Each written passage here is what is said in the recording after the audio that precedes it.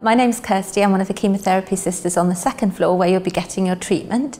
Everyone having a diagnosis of cancer and needing some treatment can find it a challenge and we're fortunate in this building that there are lots of things we can offer you should you need it. So we have the staff on the chemotherapy floor and there's your clinical nurse specialists. There's also the Macmillan Support and Information staff it's quite difficult to define what we do downstairs because we don't lead the agenda, we leave that up to the person that's coming to talk with us.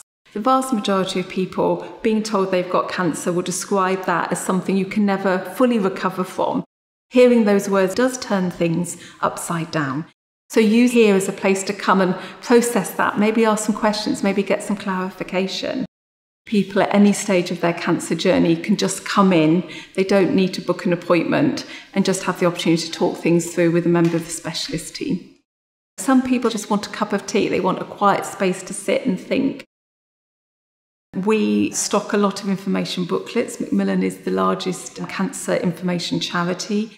And there's so much information. There's what's in the newspapers, in magazines, the internet. And how can one person or a family go through all of that and find what's relevant to them? So, what we try to provide here is standardized, peer approved, well researched information for example, a really good thing would be the fatigue booklet. It's really difficult to describe what fatigue really feels like if you're suffering from it as a consequence of your treatment. But giving somebody close to you a booklet that describes it for you is a really good way of using information and you then getting support because people suddenly understand it in a way that they wouldn't if you tried to explain it.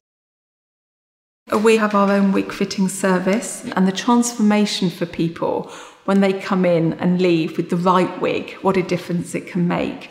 Having said that, not everybody does want to wear a wig, so we can also give advice on scarf tying and other headwear that people might want to use. We also provide a range of complementary therapy treatments. Some people, they just want to come along and achieve a sense of well-being, but for some people, it may be that they genuinely have a problem with nausea or pain or not being able to sleep or anxiety, and it's how one of those treatments can be tailor made to suit their concerns. What people don't necessarily understand is that being diagnosed and treated for cancer can be a very expensive business. If you're lucky enough to be employed in such a way that you've got protected pay, that might be easier, but a lot of people are on zero hour contracts. People might need advice on things like a mortgage break. And so we have our welfare and benefits team and we can make a referral. We also have a drop in twice a week where they can talk through what their concerns are. and They can be given some quick answers. I do believe that the vast majority of people, given the right support and information, can manage their cancer and their treatment. But for some people, they need some extra support, and that's why we have a psychological care team made up of a mixture of psychologists and counsellors. Should people need some extra help and advice through the difficult time of cancer treatment, we also run a wellbeing program. So we do a health and wellbeing event for people focused primarily at the end of treatment, where we try and cover some of those key things that we know can be an issue fatigue, sleep problems, diet, and also physical activity. We also do a range of support groups because what we do know is people benefit greatly from spending time with others that can identify with them and what they've been through.